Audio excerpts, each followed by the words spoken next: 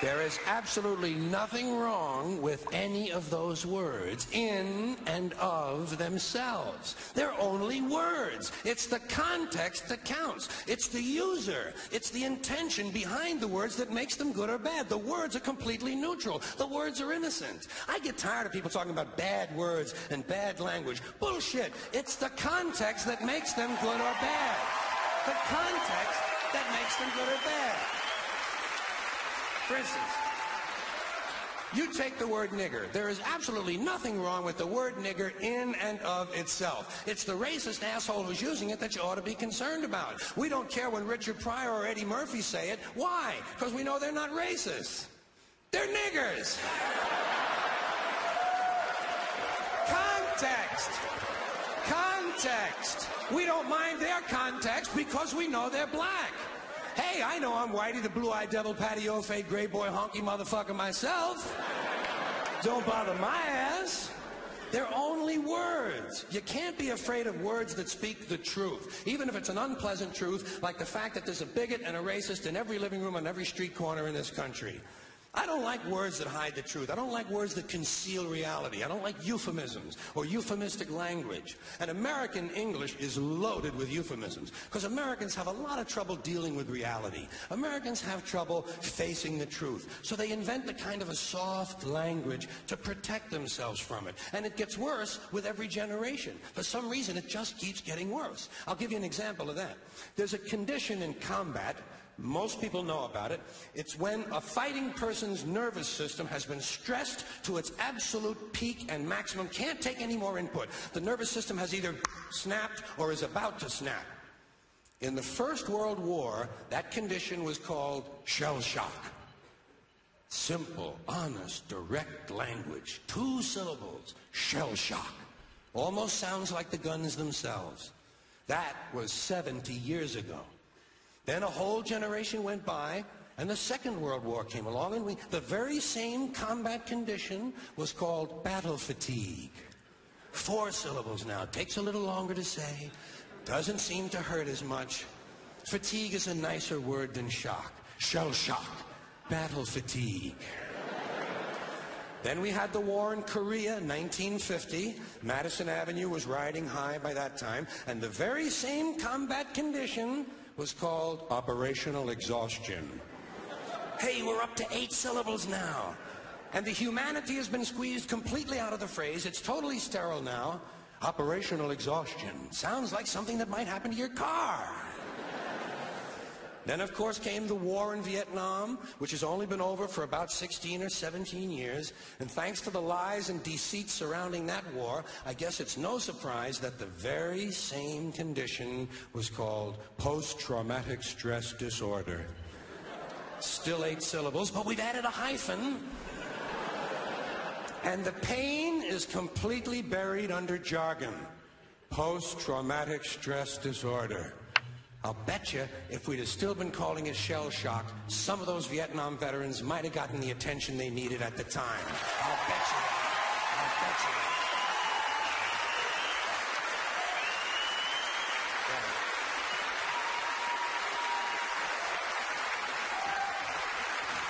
But but it didn't happen. And one of the reasons, one of the reasons is because we were using that soft language, that language that takes the life out of life. And it is a function of time. It does keep getting worse. Give you another example. Sometime during my life, sometime during my life, toilet paper became bathroom tissue.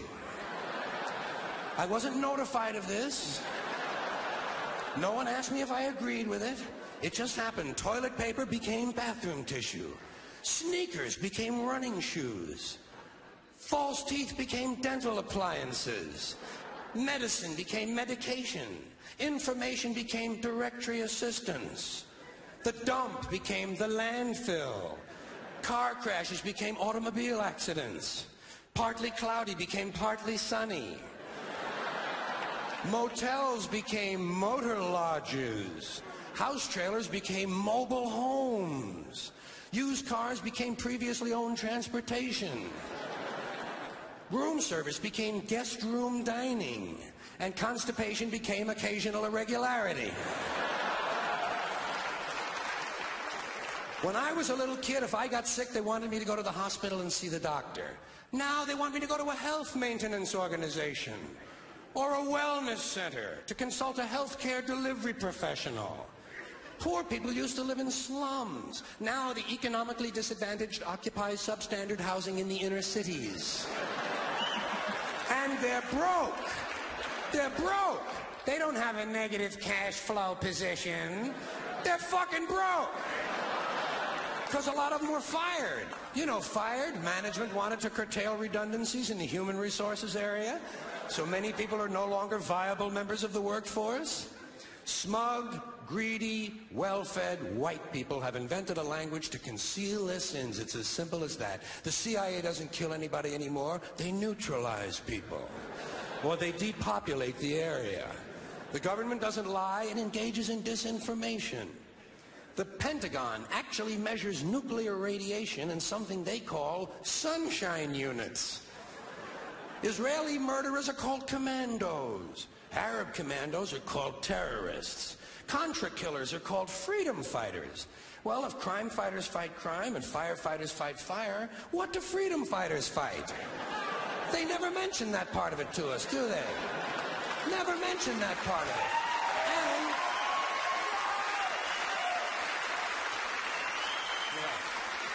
And some of this stuff is just silly. We know, we all know that. Like on the airlines, they say they want a pre-board. Well, what the hell is pre-board? What does that mean? To get on before you get on?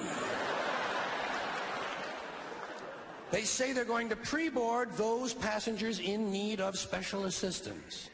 Cripples. Simple, honest, direct language. There's no shame attached to the word cripple that I can find in any dictionary. No shame attached to it. In fact, it's a word used in Bible translations. Jesus healed the cripples. Doesn't take seven words to describe that condition. But we don't have any cripples in this country anymore. We have the physically challenged. Is that a grotesque enough evasion for you? How about differently abled? I've heard them called that, differently abled. You can't even call these people handicapped anymore. They'll say, we're not handicapped, we're handy-capable. People have been bullshitted by the system into believing that if you change the name of the condition, somehow you'll change the condition. Well, hey, cousin, doesn't happen. Doesn't happen. We have no more deaf people in this country, hearing impaired.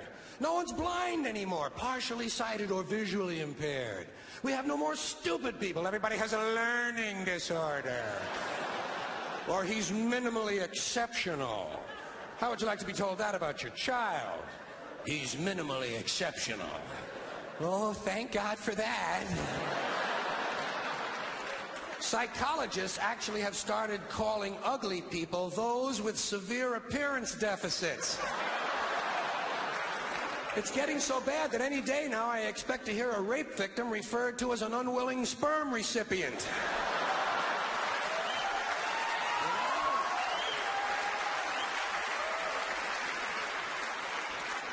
And we have no more old people in this country. No more old people. We shipped them all away. And we brought in these senior citizens. Isn't that a typically American 20th century phrase? Bloodless, lifeless.